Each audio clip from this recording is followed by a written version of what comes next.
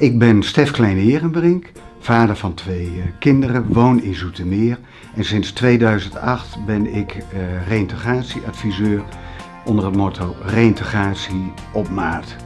Wat ik leuk vind om te vertellen is dat ik uh, drie keer in de week in zee zwem met een groep mensen en dat houdt mij fit, fit om u te kunnen helpen met reïntegratie of ziekteverzuimproblemen.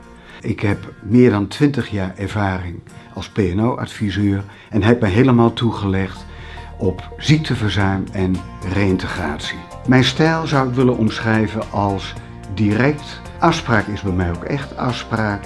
Humor vind ik ook heel belangrijk.